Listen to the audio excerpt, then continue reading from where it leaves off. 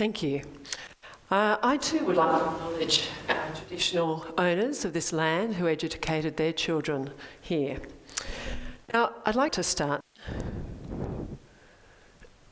by introducing you to Sarah. This is a video of Sarah when she was just five years old and she's about to start school. What else is on your uniform?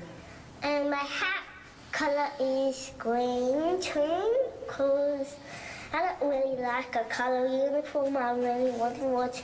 I want to wear my own clothes because it's better than uniform, better than uniform. Oh. And what colour would your dress be? Blue, pink, yellow, purple.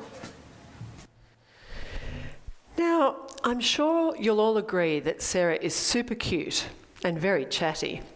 But what is remarkable about that video is that Sarah was born profoundly deaf. She had no hearing whatsoever. Hearing aids could not help her to hear. So I performed cochlear implant surgery for her when she was less than one year old. And through the cochlear implant, she has learned to listen, to hear, and to speak normally. This is the modern day miracle, a cochlear implant where otherwise she would have lived in a world of silence. A daring decision for her parents to make to decide when she was just a baby to have surgery. But what a fantastic decision because it's meant that she could learn to hear and speak normally. Let me tell you a bit about hearing and the cochlear implant.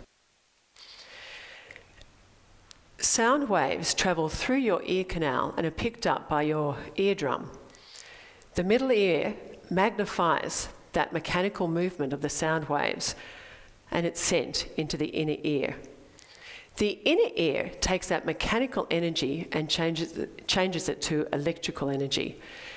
And we then have a signal going up the hearing nerve through to the brain, and we hear that as conscious sound, as spoken language or music or various sounds.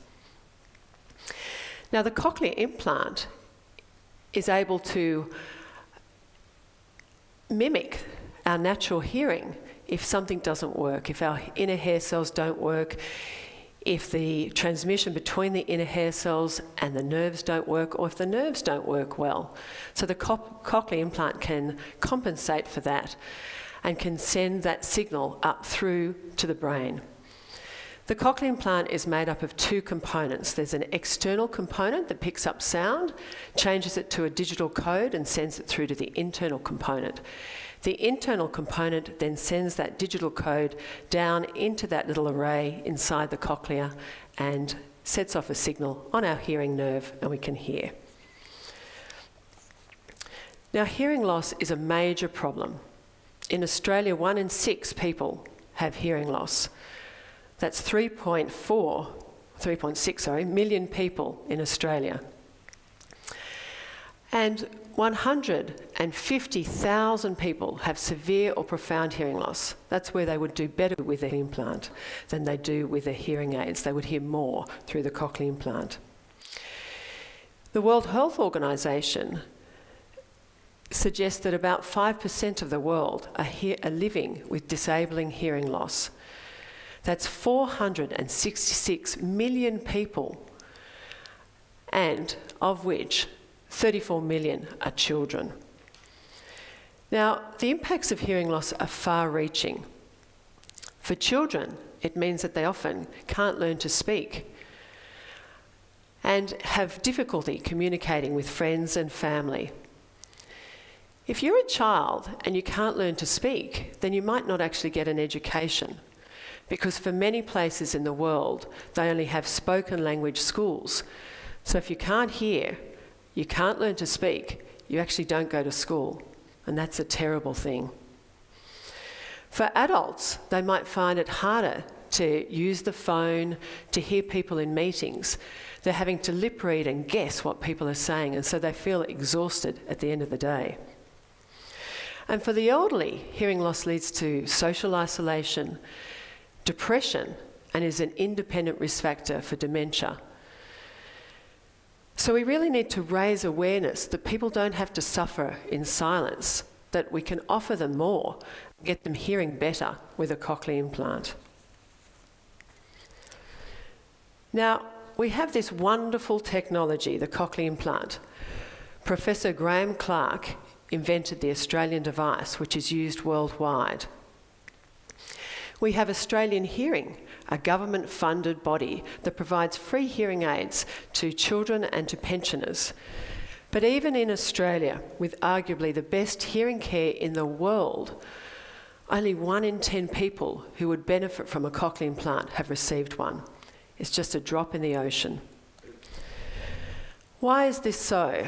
Why have not more people been able to be benefited by having a cochlear implant? Now, these reasons are probably very multifactorial, but one of the main reasons is that people just don't realise. They don't realise that they could hear more with a cochlear implant, that there is some solution to their hearing problem. So, we really need to raise awareness for people to understand that they could benefit from a cochlear implant. Now, my patients all follow their own unique individual paths. They have their own hearing journey, and the cochlear implant is only a moment in time. And for them, their journey with hearing doesn't stop there. They have to learn to listen through the cochlear implant, to retrain their brain to pay attention to sound. But for you all, you all have your own journey, your own unique path that you will follow and that you will make, and that it will make you the person that you are. Everyone takes a daring leap into the unknown, daring to grow as people. Be a positive influence.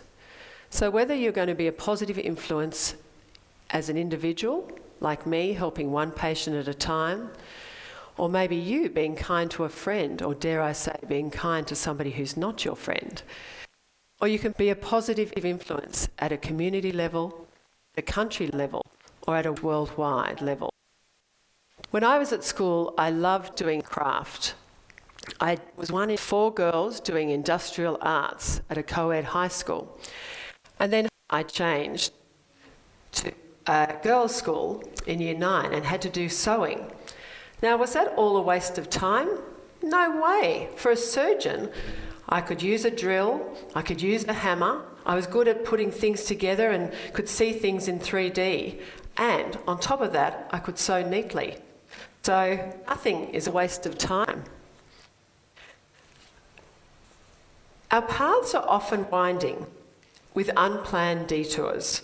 I knew I wanted to become an ear, nose, and throat surgeon, an ENT. I changed hospitals so that I could do a junior ENT position called a resident.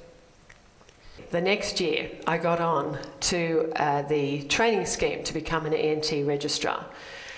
And I was able to take full opportunity of that position straight from the front, straight from the beginning, because I'd already done the neurosurgical registrar job and the ENT registrar job. Thanks. And so I was able to take the opportunities right from the beginning and really enjoy um, and participate in the operations. So, all experience is helpful. I really encourage you to take these opportunities because it will build the person that you're going to be and it will build on your strengths.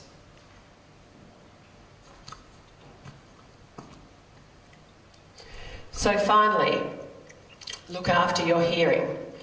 Noise exposure is the most common cause of hearing loss, and these days it's commonly due to kids having their music up way too loud, being blasted by your earphones or earbuds into your ears. So look after your hearing, don't have your music up too loudly. And then hopefully, in the future, you won't have to see an ENT surgeon like me.